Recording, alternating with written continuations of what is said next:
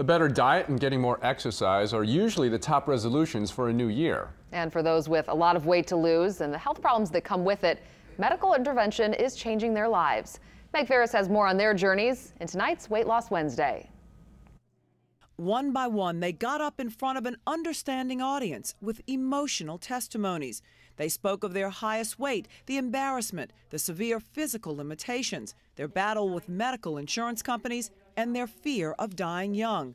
There were tears and there were cheers. I've lost 205 pounds since then. Uh, my life has completely changed. Now I'm in a, in a happy relationship. We've bought a house together. I've got, uh, I've certified scuba diver. A few dozen people, from teens to seniors, who know the pain of being obese, celebrated their success at a reunion with their bariatric surgeons at West Jefferson Medical Center. They credit surgery with saving their lives and getting them off the diet roller coaster. I wanted to live longer. You know, I didn't want to be on medicine for the rest of my life. You know, I have two kids I want to grow up. I want to see grow up. Sergeant Dal Person has gone from 405 pounds to 265 and is working to lose 30 more. He shed tears, explaining how his father will not know of his success because of limitations from a recent stroke.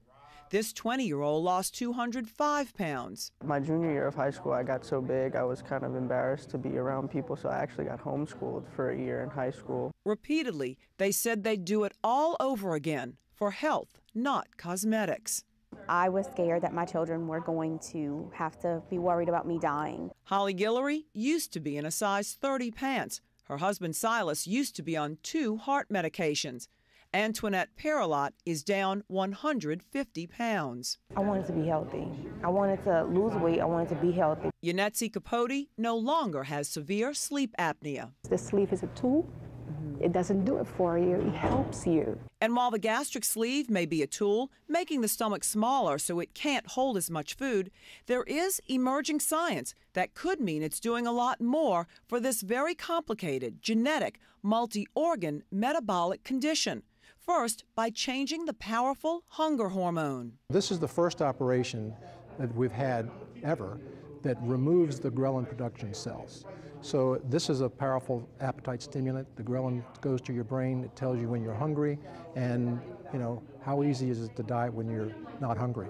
And second, by possibly lowering your metabolic set point, making it easier for your body to get to your target weight. And studies show bariatric surgery is better than diet and exercise for keeping weight off long term and treating serious conditions like diabetes, high cholesterol, and high blood pressure. For Weight Loss Wednesday, I'm Meg Farris. And studies show only 5 to 10% of people on medically supervised diet and exercise programs actually keep the weight off long term.